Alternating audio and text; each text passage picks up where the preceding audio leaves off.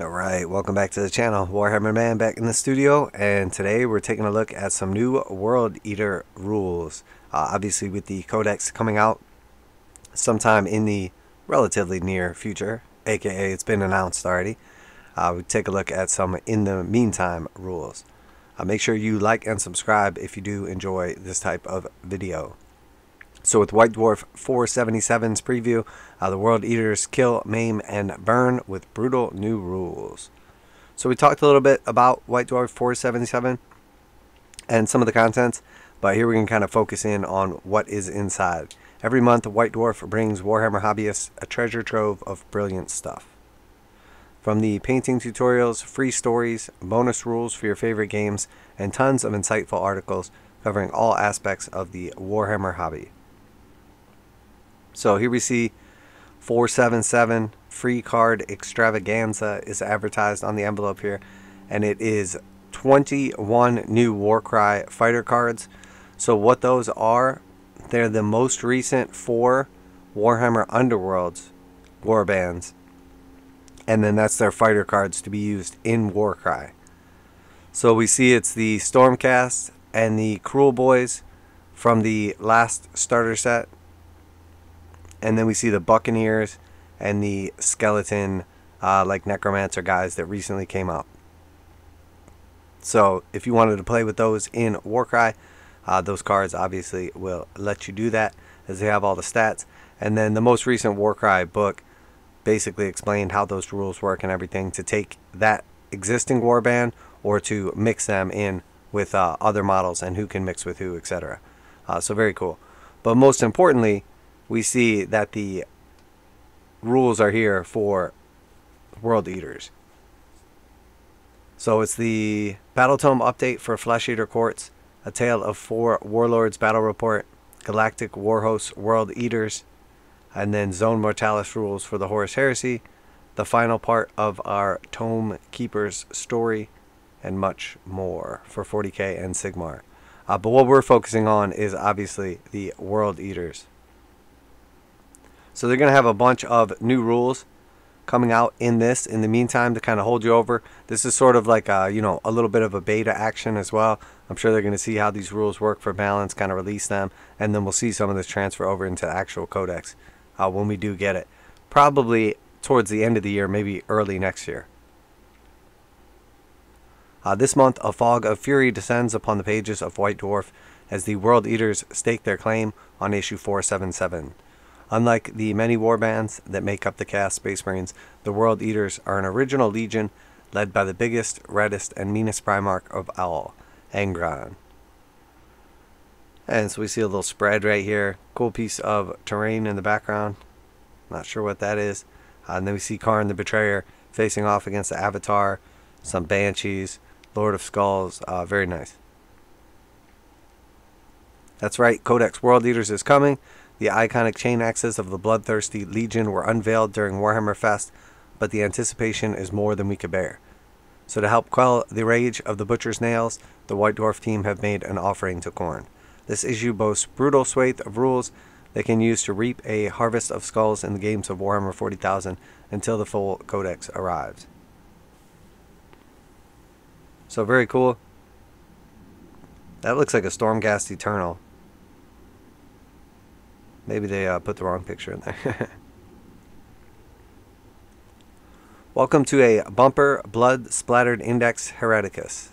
World Eaters. Eight pages of lore, six pages of rules, a short story starring Kharn the Betrayer. All of this plus a massive selection of blood drenched World Eaters conversions, epic paint jobs, and a guide on how to create the classic brass and crimson color scheme yourself. You might recognize some of these rules from Warzone Charadon Act 2, the Book of Fire, but they are all collected here in one definitive source and adapted to work with the upcoming release of Codex Chaos Space Marines. On top of their iconic Legion trait, the Butcher's Nails, you'll find six Furious Warlord traits, six Gory Relics, eight Slaughterous Stratagems, and new datasheets for the Unstoppable Kharn the Betrayer and the iconic Khorne Berserkers. So very cool. So Chaos Codex Space Marines is coming up soon. So this update that we're getting in White Dwarf will go right along with that Codex Chaos Space Marines so that you can essentially play World Eaters.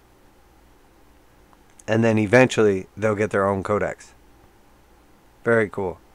So six, so we know obviously they have a Legion trait, the Butcher's Nails. And then they have six Warlord traits you can choose, six Relics, eight Stratagems, and then new data sheets for Kharn the Betrayer, uh, who's obviously an, an elite or a uh, HQ choice rather, um, and a uh, character, and then Khorne Berserkers as well. So very cool. So I wonder. I mean, I assume that means that Khorne Berserkers will not be in the new Chaos Codex. So that will be kind of interesting as they've sort of like phased out Thousand Sons and Death Guard. Uh, so will they do the same for Khorne? At least for the Berserkers or the uh, World Eaters, anyway. I uh, can't make out what any of this says. It's all too small, unfortunately. Would be cool to know. Of course, White Dwarf 477 comes packed with a wealth of other features. The World Eaters don't get to steal the stage for bloodshed. As the noble Flesh Eater courts enjoy a tome celestial with a new war scroll for their charnel throne, plus new rules for match play, open play, and narrative play. Plus, the epic tale of four warlords reaches its grand finale. Blackpowder's Buccaneers come to Warcry. Warhammer the Horus Heresy leaps into Zone Mortalis with new rules and a whole bunch more. There are even stickers for Chaos Gate Demon Hunters, and cards for many of the above rules. So yeah, I saw that there was specifically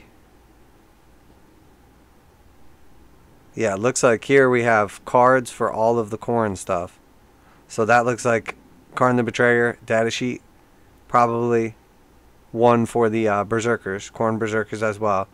And then we see one, two, three, four, five, six, uh, can't quite make out how many here, but um, you know, a bunch of those cards. So probably going to be either the warlord traits, the relics, or both.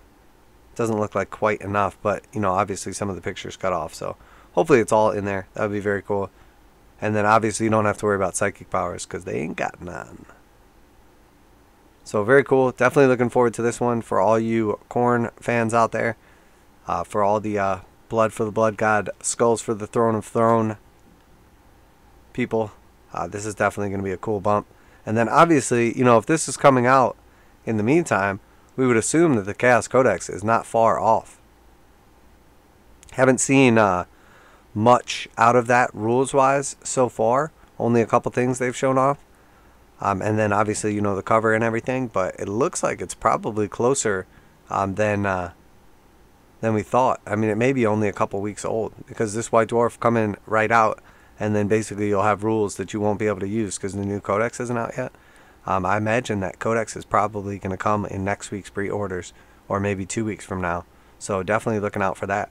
Uh, so for all the Chaos fans out there, uh, your patience will finally pay off, and the Dark Gods will reward you with the new Tome of Knowledge so that you can play your heretics on the battlefield of Warhammer 40,000 and it won't be long now. So very very cool. Um, but uh, with that, I think we're gonna go ahead and wrap it up. So this is obviously a you know white dwarf meant specifically for flesh eater courts, Sigmar, probably gonna be a necessity, or else. You know, obviously chaos, Khorne fans out there for the world eaters, and then of course, if you're into Warcry, uh, you know definitely an opportunity to play some of your underworlds war bands into Warcry.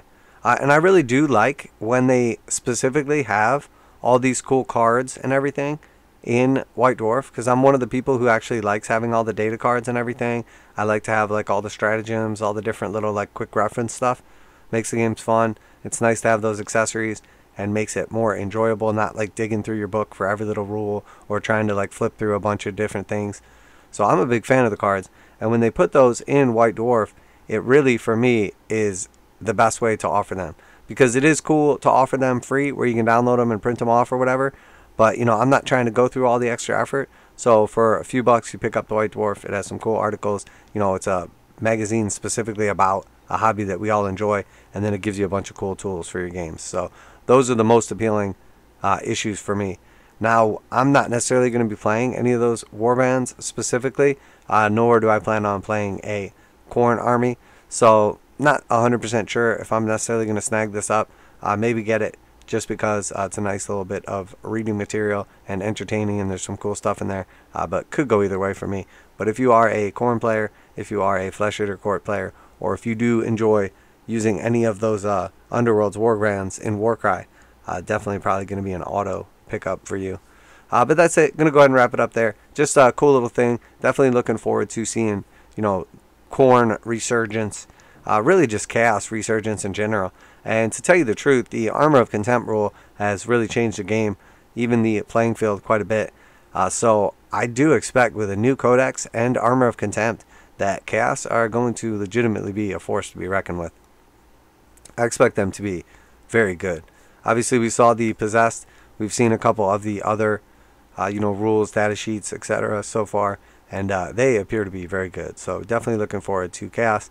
Uh, they are going to be very strong, I suspect. And, uh, you know, obviously, Thousand Sons are very good right now with their strong psychic presence, Armor of Contempt, and, you know, their overall just durability. Death Guard are, you know, very, very durable. Uh, you know, pretty strong overall and performing quite well. And then obviously, Sisters of Battle have done well with Armor of Contempt. We've seen various Space Marine legions. Uh, you know, honestly, I think probably, you know, Grey Knights is kind of like the good equivalence of Thousand Sons, is sort of like the evil. So Grey Knights slightly worse than Thousand Sons, but Thousand Sons have really benefited. So I'm curious to see how the whole fight twice and all the different aspects of, you know, World Eaters and Khorne are going to really reflect in here. I suspect they'll get a stratagem similar to like the Sisters of Battle one, where they can basically fail. Um, I'm sorry, uh, cancel a psychic power on like a four up if they're within 24 inches of it or something like that. It was like the collar of Khorne or something like that before, and uh, that is a very very strong ability. Uh, you know, the Sisters of Battle have it where if they fail to stop a psychic power with their D6 roll on a six, it's like stopped. If they fail that, they can then pay a command point, roll a D6, and on a four up, uh, the psychic power is denied. So Khorne's going to have something similar to that. Now, is just that one stratagem or ability or whatever going to make up for them not having any psychic powers? You know, that's up to you. I think that a lot of times when you have an army that doesn't have psychic, the same way like Tau doesn't have psychic or combat, they're going to be really good in the phase that they do participate in. So Tau is very good at shooting because they don't have psychic, they don't really have combat. So Khorne has specifically combat with no psychic and little shooting. So I do suspect they will be very, very good at combat. And as we're seeing now, they have taken out a lot of the fight twice stuff. Previously, there was a lot of, you know, fight twice abilities. Now there's a lot less of them. There's still fight on deaths, but some of the new fight on deaths, like the Tyranid ones, are only if you haven't fought already. So they are really getting rid of like a lot of the fight twice stuff. So that being said, if Khorne retains its ability to fight twice, uh, it's going to be very, very good. So, you know, essentially, if you're not familiar with it already, you can basically charge into combat, you fight, and then after everybody else has fought, you get to actually just fight a second time. But it's treated like you just charged in. So you basically get another consolidate, you know, pile in. Uh, or I'm sorry, you get to charge, you get to pile in, you get to fight, you get to consolidate, then you get to pile in, then you get to fight, then you get to consolidate again. Um, very, very strong. So could be really cool. Definitely looking forward to it. Uh, but going to wrap it up there. Let me know what you think down below. Are you excited for the World Eaters? Are you looking forward to, uh, you know, spilling some blood for the Blood God? Or are you just waiting for the Chaos Space Marine Heretic Codex? Uh, definitely uh, curious to hear from you guys. Make sure to like and subscribe if you're into reactions, reviews, news for Warhammer 40,000, Kill Team Necromunda, Age of Sigmar, Warcry, and of course some Horus Heresy. Everything from reactions, reviews, news, painting, modeling, conversion tutorials. Check out the uh, video links down below. That's it for today. Warhammer Man Studios. I'm Warhammer Man, and I'm out of here.